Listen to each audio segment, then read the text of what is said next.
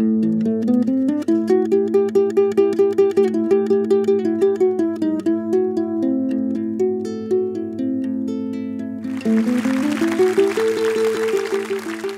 15 February 1964, in the middle of the Indian Ocean, a place called Peros Banhos, situated in the Chagos archipelago, I was born. Life was very peaceful, and everyone worked in copra industries. We have our own house, we have our culture, we have our tradition, and we all live as one family. It was a very wonderful and peaceful place. In 1968, my sister Noeli, who was one and a half year, had been hurt by a wheel cart. When my mom go to the dispensary in Peros Banhos, she had been told by the nurse that she had to travel to Mauritius to have better treatment for my sister. Both mom and dad decided to go to Mauritius to have treatment for my sister, but in a view to return back to Chagos, because all our belongings we have left on Chagos. It was a decision taken by both my mom and my dad.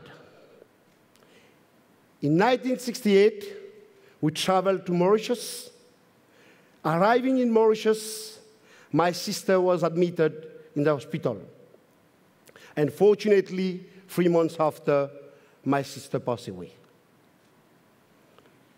When mom and dad decided to return, I remember I was with, with my mom going to an office in the center of Port Louis, where we go to register our name to return back to, to Chagos.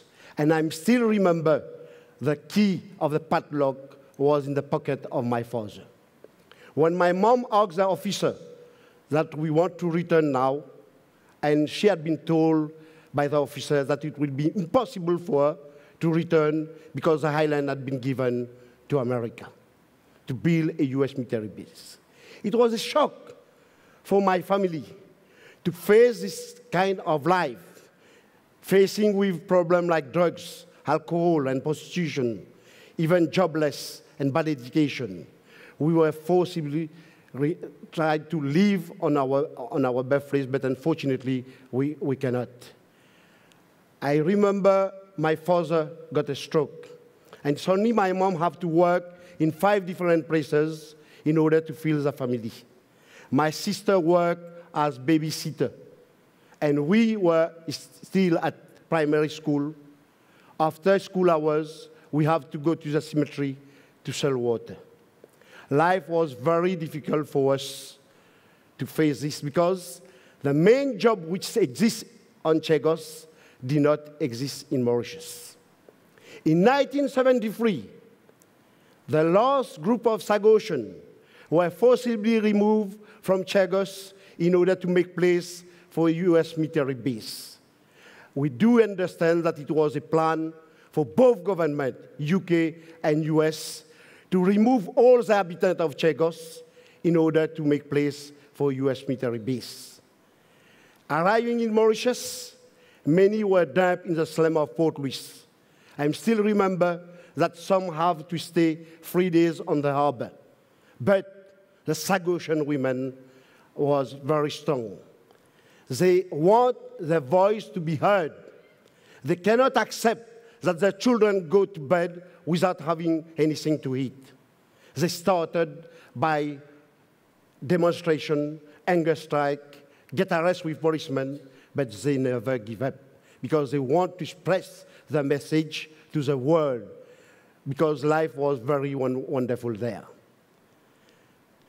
In 1983, we create Chagos Refugees Group with the main objective to work for the welfare of Chagossian community and to encourage our youngs to have a better education. In 1990, I was invited by UNDP in a seminar. I still remember the focus was on Universal Declaration of Human Rights. I was focused on Article 9, who clearly said that everyone has the right to live on his birthplace.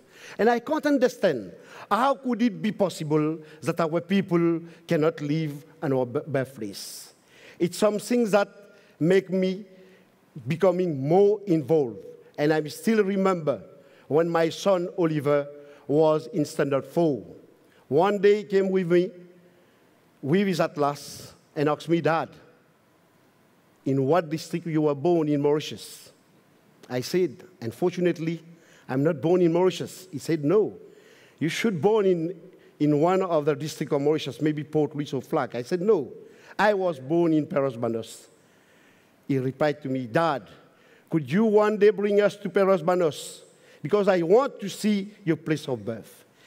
It's something that make me becoming more involved. And at that time, I'm trying to get in touch with British lawyers to see, to challenge something very special based about the British Ordinance in 1971, who preclude Chagossian by returning to Chagos, but allowed the UK and US soldiers to come and to enjoy themselves on my, on my birthplace. It's something that we just want to put in front because we want justice. We come with evidence, and at the same time, we discover all kinds of friction that they create. To say with all the declassified paper, we do understand that they describe us as Tarzan and men on Friday, and even contractual workers. With all the evidence, because we have been living there for more than five generations. How could we be considered like that? And in a judgment on 3rd November 2000, the judge's conclusion was what had been done to us is unlawful. And the judge said that we are belongers. At that time, the UK government did not make appeal. They accept the judgment, but unfortunately, they came with a new law in 2004 the so-called Her Majesty, who's supposed to protect the right of all citizens, she's punished our right from returning to our birthplace because she returned the law as it was in the, in the, in the beginning. That means that we are away from our place, whereas other people can still work and live on our birthplace. We never give up. We continue with all cases in High Court of Justice and in Supreme Court until 2010. They came with another obstacle to say that they want to declare Chagos as the largest marine protected area. And they want to protect the shark, but forget about human being. It's something that we want to, we want to challenge, and we challenge it. And even WikiLeaks revealed that is a, a plan of UK government and US government to prevent our people to return to Chagos, to return and live in Chagos. Because Chagos is not good for us, but it's good for others. In 2014, with all the pressure we have put on the British government, it finally came with a feasibility studies. We participate in that because we, we put pressure, and the, the conclusion that uh, they decided to have KPMG who direct these feasibility studies. The feasibility studies was very clear to see whether it is feasible to let people leave or not. And the conclusion of KPMG record, re report was very clear to say that there is no legal barrier who prevent Chagossian to return to Chagos. Because in Diego Garcia, we, has, we have existing facilities. How could I accept, how could our people accept that in Diego Garcia, we have everything. We have foreigners, we have Filipinos, we have Sri Lankans, we have Singaporean, we have British, we have American, we have Mauritian, except we as native, we don't have access. It is unfair.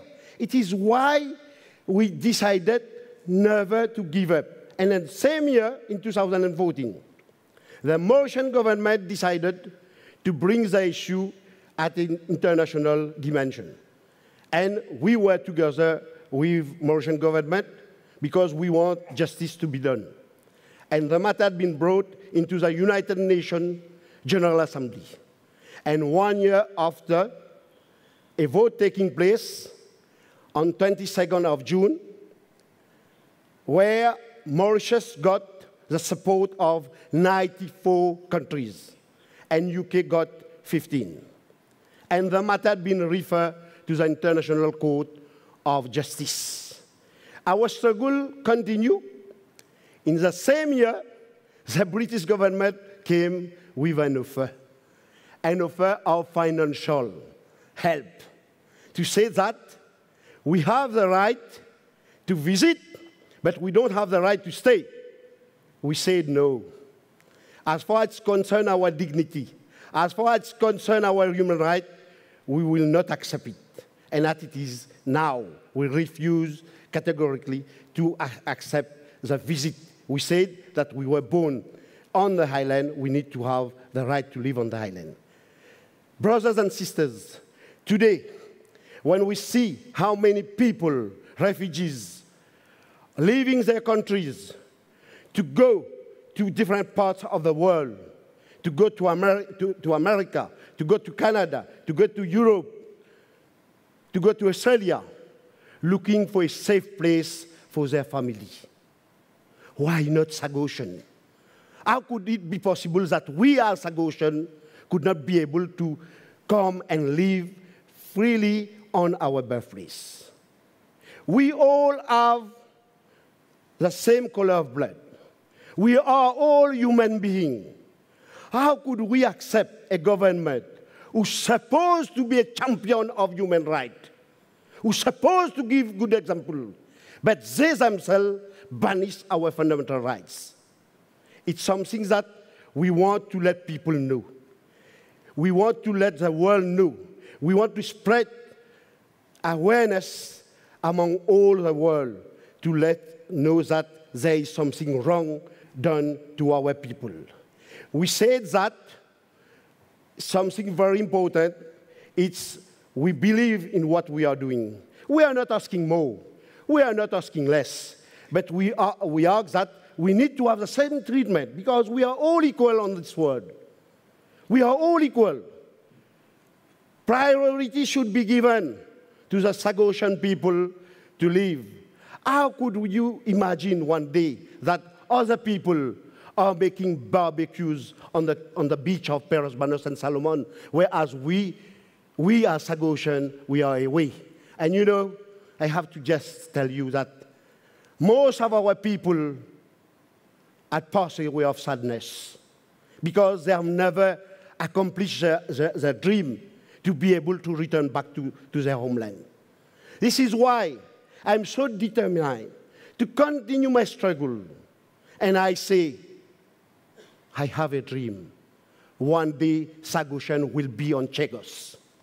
And let me tell you, I will never give up. Thank you.